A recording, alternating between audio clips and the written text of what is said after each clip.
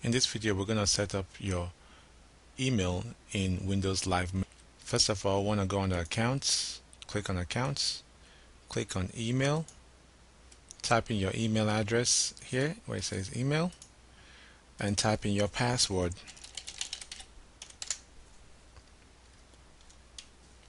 And you can also type in a name for display. I'm just going to type in James here. And then you can choose manually configure server settings and click next. And make sure it's your default account if you want it to be and click next. Make sure you selected POP3 server mail address. You want to put in your server mail address here. By default the server mail address is mail dot whatever your domain name is. In this case my domain name is mypancho.com so you also be mail dot whatever your domain name is.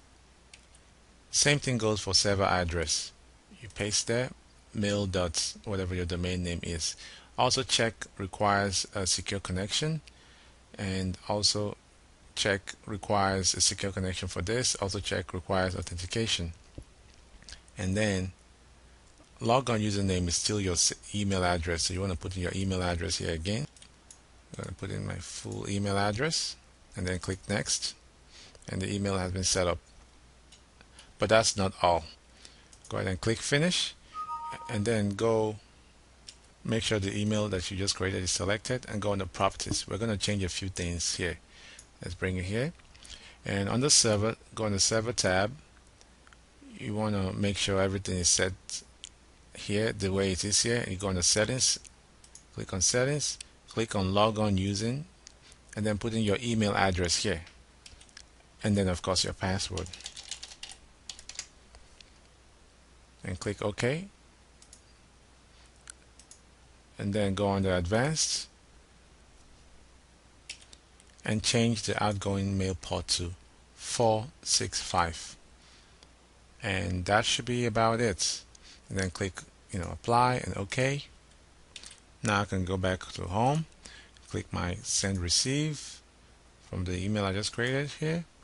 And it should check to see if there are any new emails. Right now I have one one email so that's it right there it will check it and bring it in.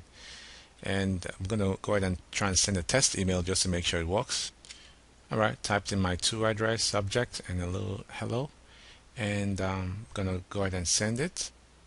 It's send as you can see it's in my sent box which means everything's working. And this is how to set up your email account using Windows Live Mail.